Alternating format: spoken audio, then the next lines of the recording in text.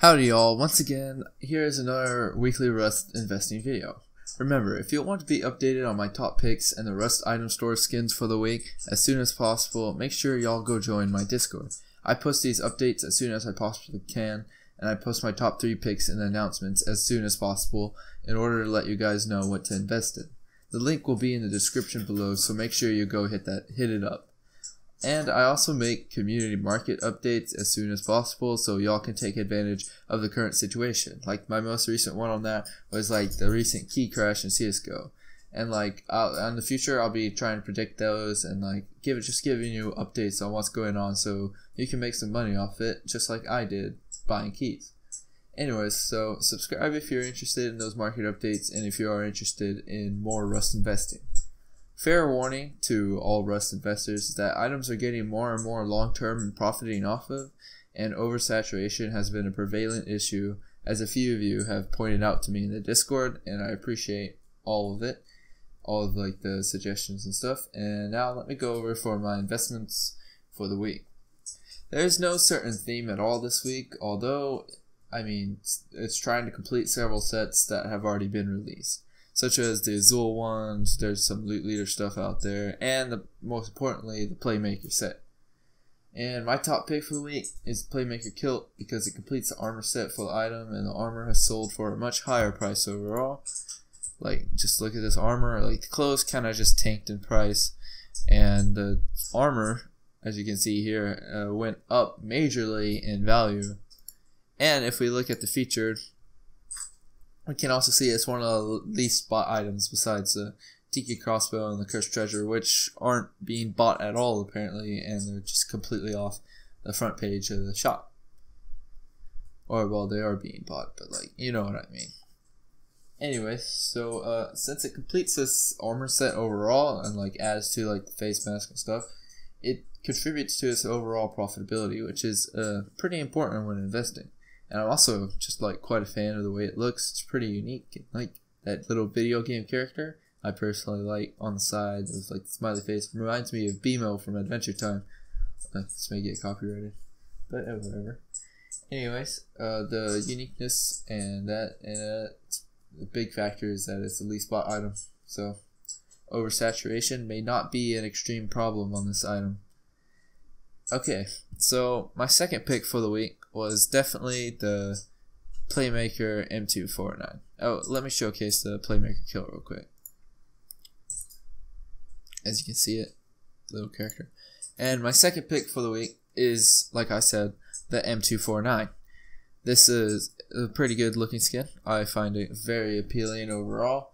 And it all will only be the fourth skin for the M249 in the game like the foreskin ever. Like for example, if we look at the there's only one, two, three M249 skins, and like this one's best looking one. And honestly, that doesn't even look like that insane to me. Like quite frankly, it just none of these look that insane. And this is probably like one of the best items or best looking M249 skins that have been released. So that is major bonus for its profitability and I like I really like it as an investment and I'll probably even keep one of these for myself. That's how much I personally like the skin.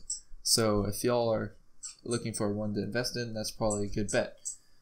And since it's really profitable, and or I'm assuming it would be really profitable, but there's still a slight warning on it because it's the second most bought item overall, and oversaturation may tank its value. Finally, my third pick overall is the night sky furnace. It like glows in the dark. You can't really see it in these photos. I don't really know why he wouldn't choose that, but uh, apparently some someone from my Discord said it glue in the dark, and like all the other skins have glow in the dark as well. And like if we look at the Steam community market, we can see that they're selling for much more overall than what this is being sold at, which is only a dollar and forty nine cents uh, American USD or not American, uh, United States dollar and then these are being sold for like seven dollars and like six dollars, which is significantly above that, like six times the profit from investing, which is pretty good. There's pretty good margins for profit. And like people are highly attracted to glow in the dark things, hence the Glory AK, the Anubis AK, and all the glow in the dark skins and like weapon skins especially are highly profitable and like uh, the glow in the dark items too. It because this is because it provides an advantage over all the normal skins, and this is why they are generally more profitable than other items. As well, if we took a look at the Night Skies theme, like I said, it's just selling for more overall than they were initially bought for. So I think this would be a good investment, but oversaturation will probably be a problem. Alright, so they're like this loot leader, it's okay, like not that great. Sap is kind of bad. I didn't even include that least selling, least selling. But my other like selection would have to be the Azul metal stuff. Like overall, like I mean, it looks good. It looks really good. It completes like the armor set, and it'll probably sell for much more than what the road sign stuff is selling for. And I'm not a big fan of the Poseidon LR. Like as you can see, it's being sold for like quite a bit or it's being sold like a lot are being sold like there's tons of them and like i'm not a big fan of the way it looks and like oversaturation is definitely going to play like a major major role in the pro i the value of this item. So like if you're looking for a cheap lr skin that looks halfway decent then when this tanks go and buy that because this will not go up in price. Most do tank initially as well so and items are becoming more and more long term. So please keep uh keep in mind of that.